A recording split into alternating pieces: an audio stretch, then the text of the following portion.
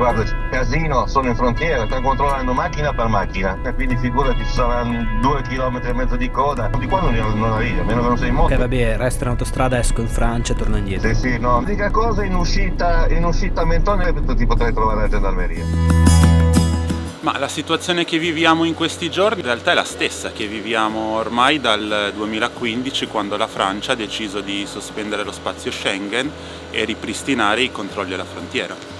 Allora, dal 2015 è sempre stato così, ci sono dei periodi in cui c'è più controlli, dei periodi in cui meno, ma comunque sono controlli che non, non, hanno niente a che fare con i migranti in transito, perché i migranti non passano in macchina con il cittadino di 20 miglia nel cofano, le persone continuano a passare con i passeur come sempre. In frontiera, lungo la, la statale, l'impatto della polizia francese che controlla le auto effettivamente c'è.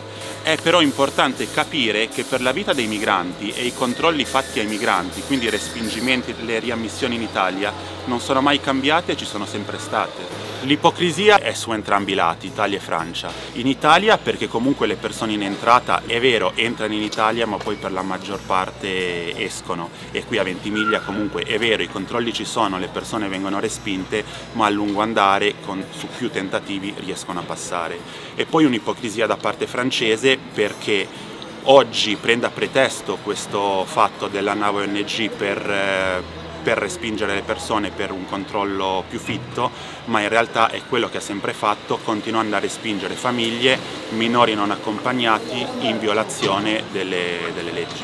Molte persone mm, che eh, diventano vulnerabili eh, dal punto di vista psicologico, psichiatrico, è, è sicuramente una, una, frontiera che in maniera più o meno diretta e indiretta cioè è molto violenta e c'è molta frustrazione, molto dolore, c'è chi non riesce più a ricominciare. Ma vengono, vengono poi delle contusioni, ferite da,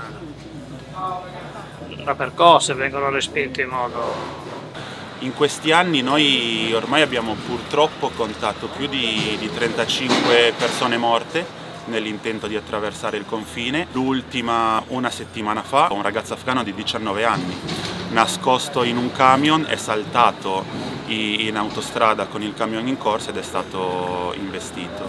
Bisogna assolutamente rivedere il Trattato di Dublino perché eh, fondamentalmente dove vieni identificato devi fare richiesta d'asilo. Il fatto che stupisce è che ci sono stati dei momenti storici in cui mh, il Trattato di Dublino poteva essere cambiato, però in realtà proprio quelli che eh, puntano i piedi e quindi Fratelli d'Italia, Lega eccetera eccetera hanno votato contro con tutta la parte europea di Wiesengar.